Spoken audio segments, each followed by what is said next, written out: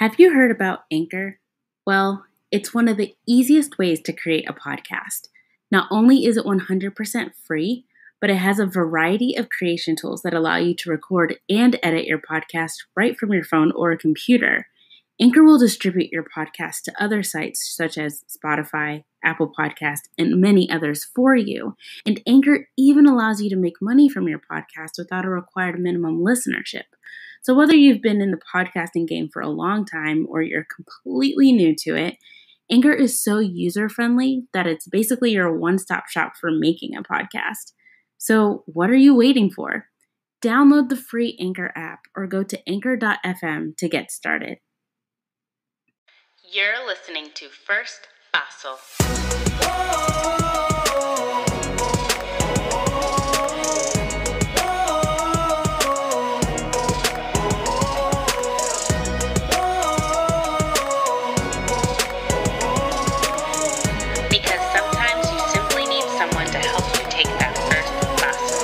Hello, and welcome to First Paso, a show where we learn together how to take that first paso toward becoming the best versions of ourselves. My name is Candace Olusola, and y'all, we are episode 100. Hey, hey, hey, hey, hey. Like, I'm so excited in case you can't tell. This is amazing. I have been podcasting since summer of 2020. It has literally been two years. Two years, y'all. I've been doing this for two years. Dos años? ¿Qué? Yo? What? Like I, I'm shocked.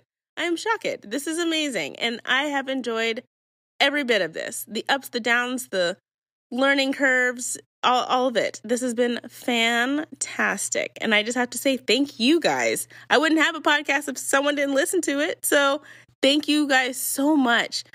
Especially those of you who've been OGs, ride and thrive since summer of 2020. You guys, thanks, truly. And to my first pasitos, the patrons, thank you guys. If you're not a patron, what are you doing? You can go to my website at www.firstpaso.com and look to see how to join the Patreon on the podcast tab. I would love to have you guys on board, grow this community. It would be phenomenal. I also have an announcement. Actually, I have two announcements to make today. So, first off, drum roll, please. I've launched my YouTube channel. Woo! So, yes, I have a YouTube channel. It's called The Sweet Life with Candace Olusola, and that's S W E E T because um, my nickname is Candy. So, obviously, it's basically a holistic YouTube channel that is going to entail different aspects of how I am living my most fulfilled life for the rest of my life and inviting you guys into that space to learn from what I'm doing. So I want to impart that knowledge on the world and it gives you opportunities to kind of get glimpses of how I do my life coaching as well. If you're looking for a life coach, I still have spots open. So you can go to my website and go to the coaching tab, click to learn more there, and let's see if we, we make a great fit. I would love to go through life coaching with you guys. I have a couple coaching clients right now, and it has just been truly an honor to walk through life with them and see them make breakthroughs and grow and evolve and start having more pep in their step and more hope and it's it's it's a beautiful beautiful process to go through life coaching. So if you do want a one-on-one coach or if you want to get a group of people together and we do group coaching i'm down for all of that. So hit me up let me know and i am at your service. So that's that's the first thing my youtube channel. I already have stuff up there. You can feel feel free to like subscribe hit the notification bell for when i do post and check that out the second thing is that I'm actually starting a second podcast called Hashtag Pizza is Not Working podcast. If you haven't heard of the hashtag Pizza is Not Working movement, it is a pharmacy advocacy movement. And it is basically highlighting how what has been happening in the world of pharmacy for a decade plus of time up until today is affecting both the healthcare and public health sectors in ways that the public may not realize because no one's blatantly talking about it in the truest, rawest form. And that's where I come in. I've already launched the introductory podcast episode, so I will put the links to that in the show notes for you to listen to already, just so you can have an idea of what this podcast is going to be about. And trust me, you're going to want to listen to it. You, your mama, your auntie, your second cousin, your grandmammy, like everybody, everyone's going to want to listen to this because this is affecting everyone in the country. Everyone, literally everyone is going to be impacted and has been impacted by what's happening in the world of pharmacy. And if you don't realize what's happening, you as a consumer won't know how you can get involved to help shift what's going on and actually have us have a healthy healthcare and public health system in the United States of America. So please check that out. And I will let you know when we have our first official episode out so you can subscribe to that and listen to it and come on the journey with us. So, yeah, that is amazing. I'm really excited to have all of these announcements on my 100th episode. This has just been a wild ride in general, learning and growing in what I do now. And I'm just I'm just thankful. I'm truly thankful today. Anyway, enough about me. Let's talk about the topic of today. Today's topic is on reconciliation. What is reconciliation? When you reconcile with someone, you're trying to make amends. You're trying to right a wrong that you may have done against them, and you want to find a resolve, regardless of what that resolve is. You want it to be closed. It's like trying to close an open wound and make sure that the sutures are where they're supposed to be. So that way, everyone walks away feeling like there was some sense of closure to something that was festering and hurting and causing more damage than good. So, let's talk about five steps to reconciling with someone or some a, a group of people because you may have wronged more than one person. So, this is possible. We're human, is a thing. Okay, so step 1 acknowledge and own your faults in the situation. Be honest. Now, this is a step before you actually reach out to the person to talk. If you realize that you've done something wrong towards someone else, if you realize that you messed up, you need to be able to humbly accept your role in the process.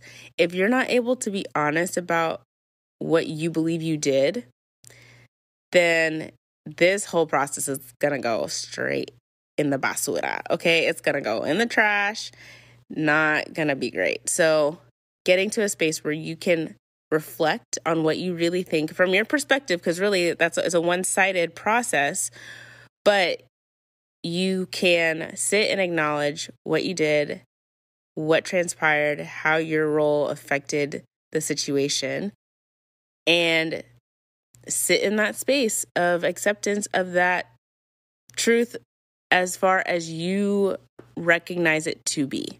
Okay? So that is step one the acknowledgement and the ownership of your part in honesty and with humility. Step two, forgive yourself for messing up and hurting the other person.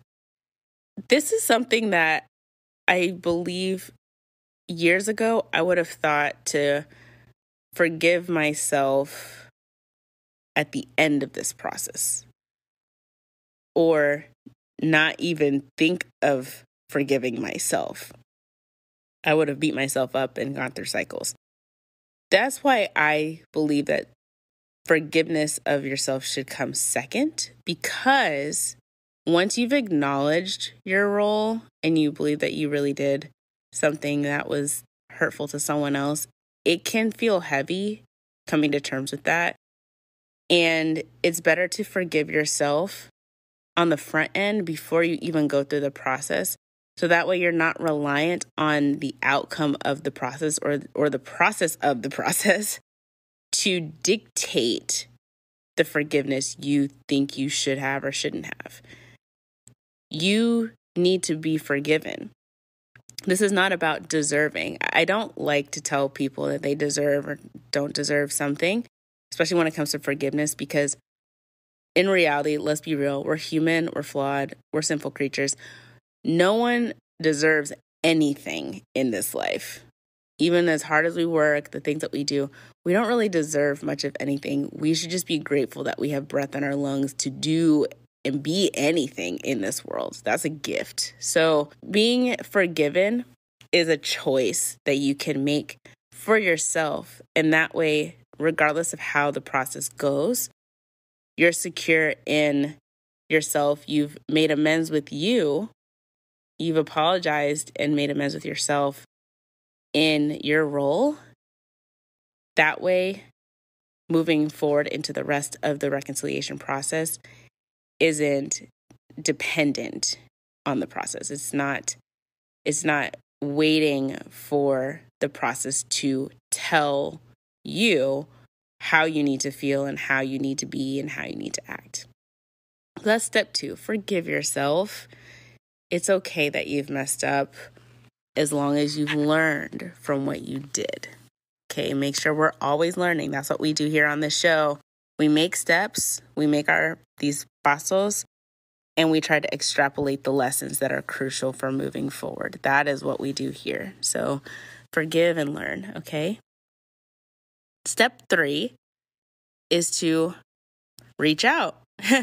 reach out to the people, the person that you've wronged, whether that's through a call, a text, an email, maybe sending them a DM on their social media because please, please don't look desperate trying to post all up on their wall. Is on all their posts. It's just so awkward. Don't don't don't do that. Do it privately. You don't have to do any grandiose gestures. That that always seems like a lot and very cringy when you see people do that. You can also go to them in person if you feel like that's a safe eh, thing to do and is appropriate to do. But reach out and ask permission to talk, to actually have a conversation, whether that conversation is on the phone or on FaceTime, Zoom, Google Meet, Hangout, whatever, in in person at a coffee shop, at their house, at, at the church, in the park. It doesn't really matter as long as it's appropriate, it's safe, and you guys can agree on a, a place to have that conversation. But just to ask permission to have a conversation, reach out and ask because no one is forced to go through this process. It's always an invitation. It's always a an extension of an olive branch to someone else to say, I want to invite you into this space where we can heal this wound, however that looks moving forward, or at least close it so we can heal in the ways that we believe is best. We believe are best. so let them have that time to process the request and be patient. You should probably make sure that you're pretty patient and cool and calm before you reach out because it can sound really desperate and overwhelming. And if you're anxious, it can actually turn the other person off and make them feel like you're not actually ready to have a conversation or it's just going to be more of the same. And that might not be your intent. It might just be you're overwhelmed and you want to get get it over with. I say that because if you've been in conflict with people of different personality types there are those who, when they realize that they've done something wrong or that something needs to be discussed, they want to discuss it right now, right then, get it over with. I want to get to the good part. Like, let's have the conversation. I don't care how long it takes for us to hash it out. Let's just get through it and let it be messy, let it be whatever it is. As long as we're talking, we come to a resolution and then we can do whatever afterwards. Then you have those who are very overwhelmed and need time to sit back, process through their own emotions, make sure that they're in a great headspace, make sure that their emotions aren't going to be inappropriate in the moment, and that they're not flubbing over all of their words. They want to be collected. So that might take time for them. That might not even be the same day or even the same week. It could be a while, depending on the gravity of the situation. So, both sides need to have patience with one another. The eager beavers that want to just get it over with have to slow down, be patient, try to reach out in a cool, calm manner, but with sincerity to have the conversation without being defensive. And you also also hopefully because you've had the time to do step 1 and 2 you've already had the time to process for yourself your part so okay to be fair that's probably also why you would want to be eager to get through the conversation and get it over with because you've processed but remember that if you're extending this olive branch to have the conversation the other person may have been thinking about it but they may not have gotten to the space of like calm acceptance of what happened yet and they deserve that space. They may have they may be ready to have the conversation because they have. They've processed it and they've cooled down. It just depends. Okay. So at the end of the day, make sure you're exercising patience in your ask, in your reaching out to have this conversation to let them process the request itself and the idea of having that conversation. Now, they might say that they really don't want to have the conversation. They'd rather just cut their losses and move forward or whatever. And you have to respect that. That's very challenging, but you should respect where they are with the process. That might change later. They might come back and say, okay, I'm ready now, whatever. But if they decline the request, then that might be the end of the reconciliation process. It might just stop there or just it didn't actually transpire, which is why step two is very important to forgive yourself depending on how the rest of the process goes, because it might not go smooth sailing to the end. Now, if they are gracious enough to oblige and say, Yeah, let's have this conversation, schedule that time, or say, I'm ready now, however that looks, because again, it depends on the situation. But once you're in that space of having a conversation, please don't do it through text message. Don't do it through anything that could lose, you could lose the sentiment, you could lose the the tone of voice through different aspects unless truly it's the only option you have. Like if there's some reason with the connection or being able to talk with each other a certain way. Or it might just be we need to wait for a certain time when we do have a means to talk for real, for real, without disruption. Just make sure that the setting is appropriate and you're not losing the tone of voice in what's going on. So that that's a that's just a tip. But once you're in that space to talk, step 4 of the process is to speak honestly and own your faults with them without it sounding backhanded. Okay? You want to continue to stay humble in asking for forgiveness and to reconcile. And you want to be honest throughout the process. So, what do I mean by owning your fault with them. Well, basically doing step one, but in front of them is what I'm saying. Make sure that whatever you came up with in step one, whatever you processed and and took ownership of in step one, do that with them and continue to stay honest and humble. Don't all of a sudden become defensive and hysterical and all those things. If you can avoid it, that's hard. Some of us we be crying because you're overwhelmed in the moment. You didn't expect to be do what you can to collect yourself. If you say, you know, give me a moment, I need to compose myself and I'll be right back.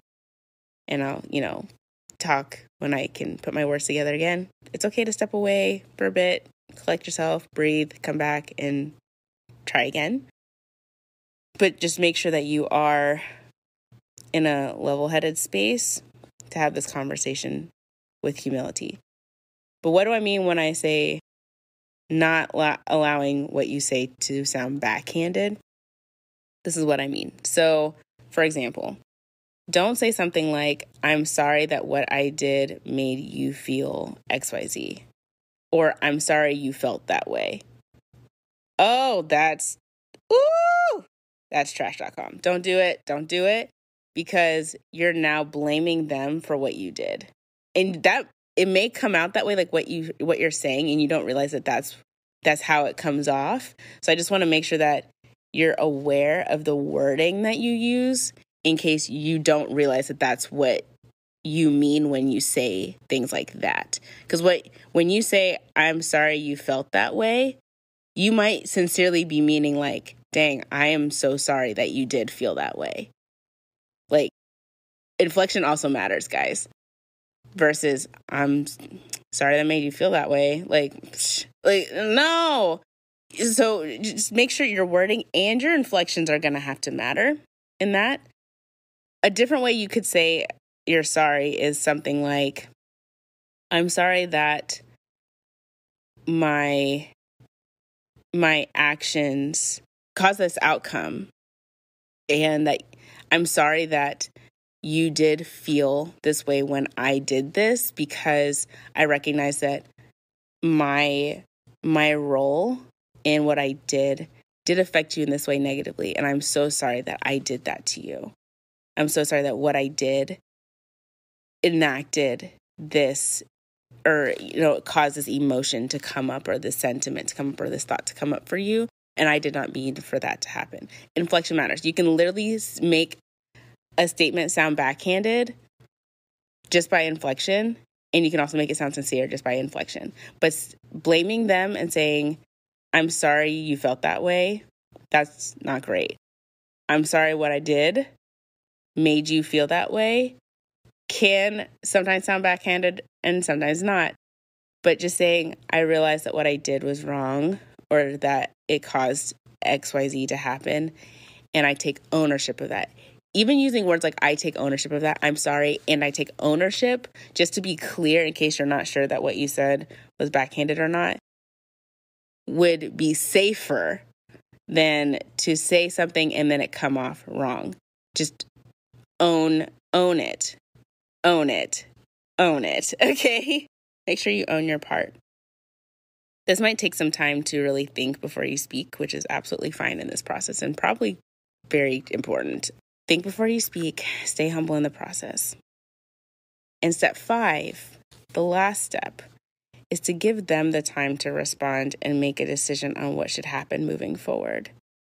Because they also deserve to say their piece. They also deserve to say what they want to happen and what they're comfortable with.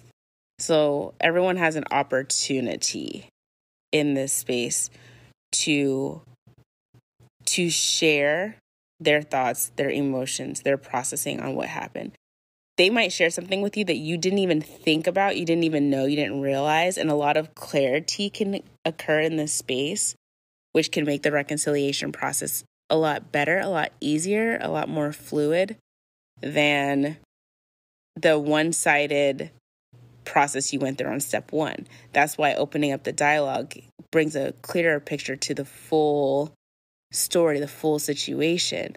So now you're not just coming from your perspective, but then hearing their perspective and going, oh, is that what, is that how you were feeling? Is that what you thought? I didn't realize. I didn't, wow. You know, and it could just enlighten everyone in the process. So that experience of making sure that no one's interrupting the other person, let everyone speak through what is going on, what happened, what transpired from their perspective and merging these two perspectives together to figure out what is the what is this mosaic painting of of this ugly situation. And let's let's step back and look at it together. That's where reconciling occurs. Now at the end at the end the decision on what to do now that the conversation's been made First off, forgiveness is an ask. Asking for forgiveness, no matter what, even if even if you disagree with what is said, to just ask for forgiveness anyway, because their point of view and your point of view both matter in this situation. One's not necessarily less right or less wrong. They're just different perspectives because you're different people. And to ask for forgiveness in in using that as a way to validate where the other person was based on their perspective is crucial no matter how the rest of this process goes. And it might be as simple like, no sweat it, I forgive you, let's move on and we're good. Or it might take several steps to rebuild the trust. And it also might mean that forgiveness happens or doesn't happen, or that you reconcile that relationship or you don't. It might just be like, I, I can't handle this and I I'm just gonna take it for what it is and cut my losses. That's why step two is important to forgive yourself in case it doesn't end out positive or the way that you envision in your mind that it would or should or could go it's it's crucial to make sure that you're not waiting for the results or the process to dictate how how you walk away from the situation. You might still have to process the situation afterwards, but it shouldn't be the determining factor on on how you move forward personally. This process can go long. The, the the reconciliation process itself, it can be a long process, it can be a short process, it can be a process in parts. It really depends on the situation.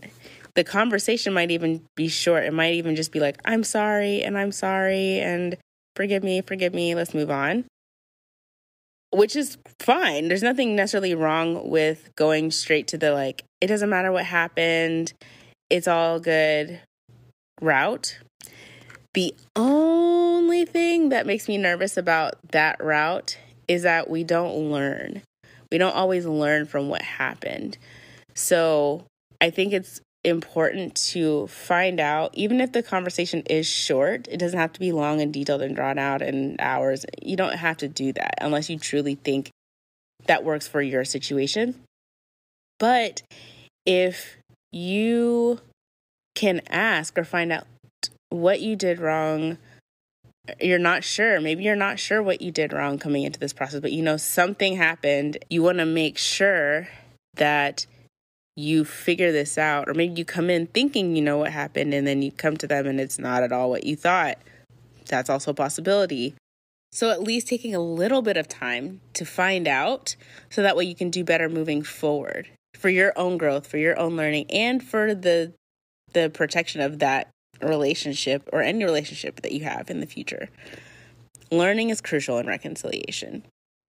Learning in humility, learning in honesty, learning in love is is so foundational in this process.